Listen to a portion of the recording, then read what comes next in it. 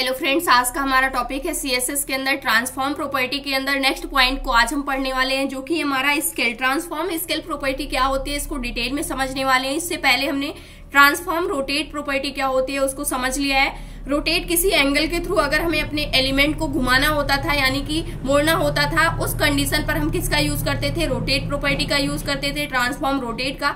अब हमें अगर कोई भी हमारा एलिमेंट है, उसकी एक्चुअल साइज़ से उसको हाफ़ करना है, या फिर डबल करना है, या फिर ट्रिपल करना है, या फिर फोर टाइम्स इंक्रीज करना है तो उस कंडीशन पर हम किसका यूज़ करते हैं? सीएसएस के अंदर ट्रांसफॉर्म स्केल प्रॉपर्टी का यूज़ करते हैं। तो ये पॉइंट आपको अच्छे से समझ में आया होगा। यहाँ पर हम एक एग्ज़ाम्पल लेते हैं। जैसे मैथ के अंदर आप सभी को पता होगा, जो हमारी डायरेक्शन होती है, इसको हम वाई एक्सेस बोलते थे और इसको एक्स एक्सेस बोलते थे। सेम वही यहाँ पर भी रहेगा। यानी ये हाइट हो जाएगी। एंड ये क्या हो जाएगी? विर्थ हो जाएगी। अब मानते हैं कि कोई हमारा यहाँ पर क्या है? एलिमेंट है। ये हमारा क्या है यहाँ पर? एक एलिमेंट है। एक ड्यू एलिमेंट है, जिसकी अभी हाइट भी क्या है?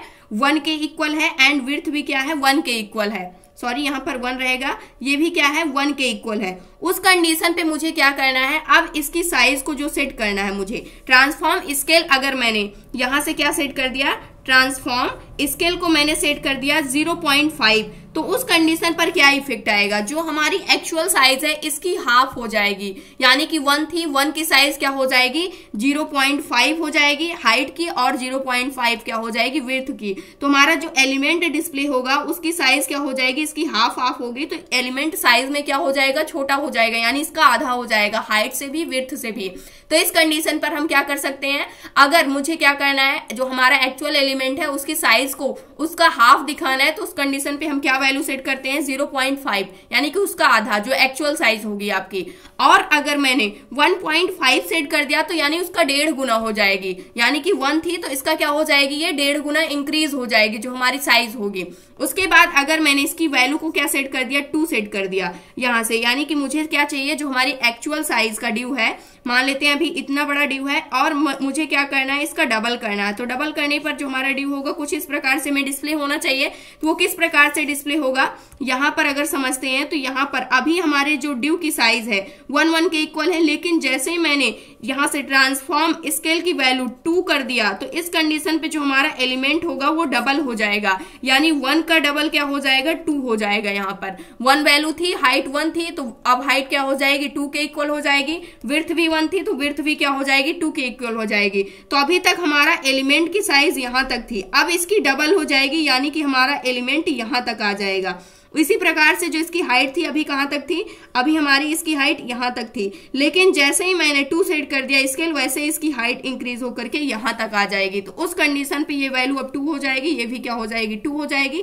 अब जो हमारा एलिमेंट हमें डिस्प्ले होगा, यहाँ पर स्केल होने के बाद उसकी साइज़ क्या हो जाएगी?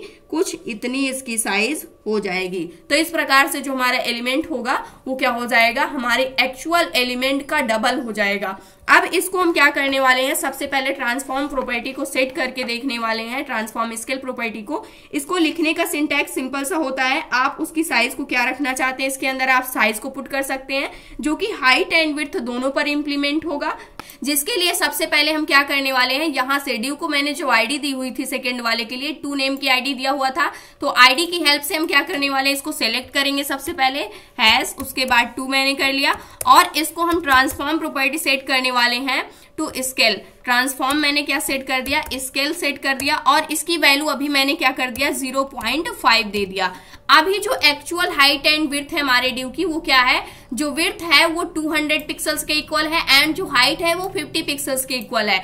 अब जैसे ही मैंने ट्रांसफॉर्म स्केल को 0.5 सेट कर दिया तो इसकी जो यहाँ पर एक्चुअल साइज़ है, इसका हाफ़ हाफ़ हो जाएगा। यानी 200 पिक्सल्स है तो 100 पिक्सल्स हो जाएगा एंड हाइट 50 पिक्सल्स की है तो ये 25 पिक्सल्स की हो जाएगी। इसको सेव करके जैसे ही पेज को हम रिफ्रेश करेंगे, यहाँ से मैंने पेज को रिफ्रेश किया। अब जो हमारा ड्यू है, अगर इंस्पेक्ट करें तो उसका क्या हो चुका है? हाफ़ हो चुका है। जैसे कि यहाँ पर जाते हैं और सेकेंड वाले ड्यू पर हम यहाँ पर आते हैं। तो यहाँ से अगर आप देखिए तो इसकी जो एक्चुअल साइज़ थी, वो क्या है? यहाँ पर two hundred multiply fifty pixels के इक्वल है। लेकिन यहाँ पर पर अगर आप देखते हैं तो यहाँ पर इसकी साइज़ अब क्या हो चुकी है? यहाँ पर उसकी हाफ़ हाफ़ हो चुकी है। यहाँ पर one zero one point four six हो चुकी है, यानी टू हंड्रेड का ये हाफ़ हो चुकी है। इसी प्रकार से वहाँ पर फिफ्टी पिक्सल्स थी तो ये क्या हो चुकी है? ट्वेंटी सिक्स पिक्सल्स के इक्वल हो चुकी है। तो इस प्रकार से आप इसको क्या कर सकते हैं, यहाँ से देख भी सकते हैं। अभी तक इसकी एक्चुअल साइज़ यहाँ पर आपको डिस्प्ले हो रही है, लेकिन यहाँ पर मैंने स्केल किया हुआ है, उसकी साइज़ यहाँ पर डिस्प्ले हो रही है। अब मुझे क्या करना है?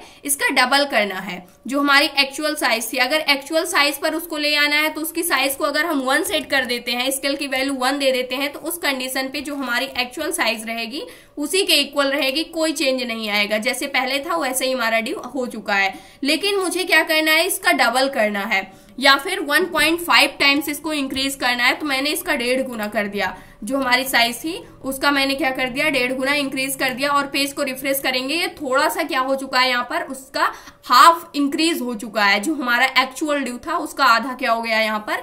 इंक्रीज हो गया है। अब मुझे क्या करना है?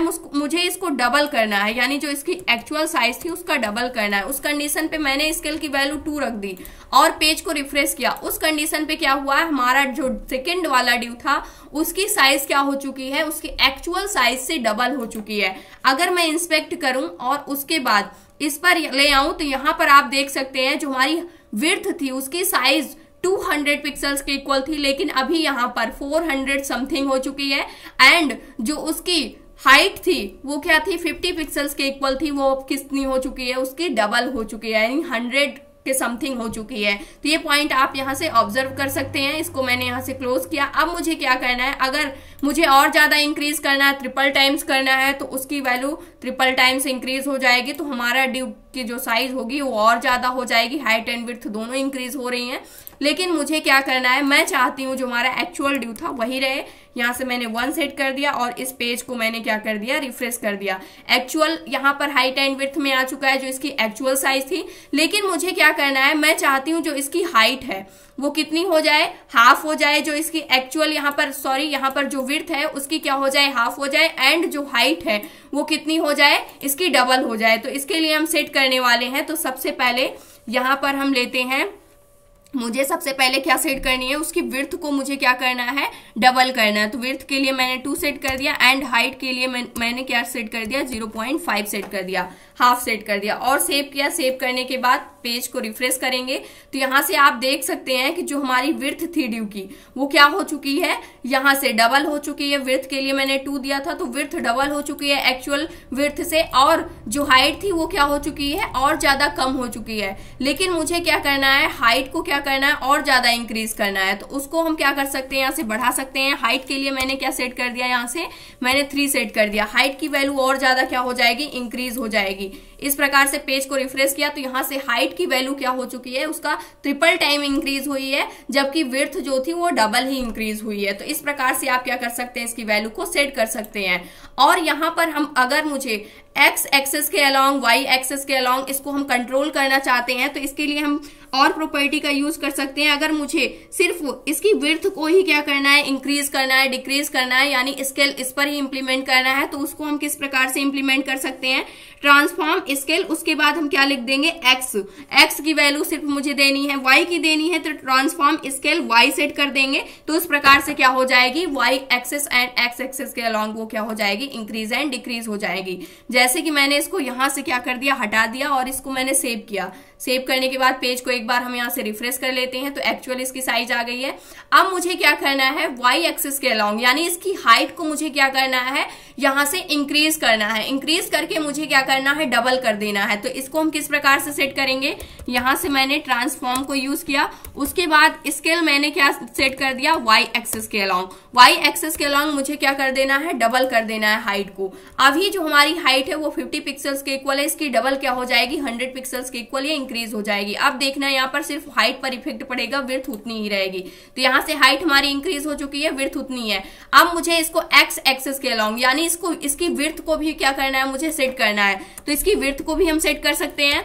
यहाँ से मैंने ट्रांसफॉर्म प्रॉपर्टी को यूज़ किया और उसके बाद स्केल मैंने क्या ले लिया? यहाँ से एक्स एक्सेस के अलॉन्ग एक्स एक्सेस के अलॉन्ग इसकी हम विर्थ को कंट्रोल करते हैं। विर्थ मुझे कितनी चाहिए? इसकी जो विर्थ है वो मुझे ज़ीरो पॉइंट फाइव टाइम्स चाहिए, यानी हाफ़ चाहिए। जो एक्चुअल विर्थ है उसकी क्या चाहिए? हाफ़ चाहिए। एक्चुअल विर्थ 200 पिक्सल्स के इक्वल है। तो अब ये कितने पिक्सल्स के इक्वल हो जानी चाहिए? 100 पिक्सल्स के इक्वल तो यहाँ से आप देख सकते हैं हाइट तो इसकी इंक्रीज हुई है, लेकिन जो इसकी विर्थ है वो क्या हो चुकी है? उसकी हाफ़ हो चुकी है। तो इस प्रकार से हम क्या कर सकते हैं?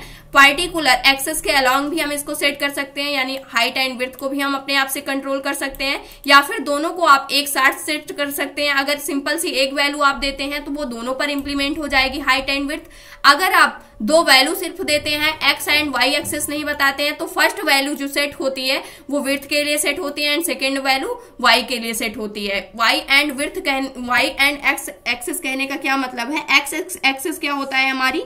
ये हमारी विर्थ होती है। किसी भी एलिमेंट की विर्थ होती है वाई एक्सिस क्या होता है? ये हमारी हाइट होती है। यानी अगर आपको हाइट एंड विर्थ को कंट्रोल करना है, उसको क्या करना है? हाफ़ करना है या फिर डबल करना है ट्रिपल करना है तो उस कंडीशन पर आप यहाँ पर सी एस एस ट्रांसफॉर्म के अंदर स्केल को यूज़ करते हैं। यानी ट्रांसफॉर्म प्रॉपर्टी के अंदर आप स्केल को यूज़ करते हैं। तो ये था आज का हमारा टॉपिक आई होप दोस्तों, अगर आज की इन्फॉर्मेशन आपको अच्छी लगी हो तो प्लीज़ वीडियो को लाइक करना चैनल को सब्सक्राइब करना और दोस्तों के पास शेयर करना।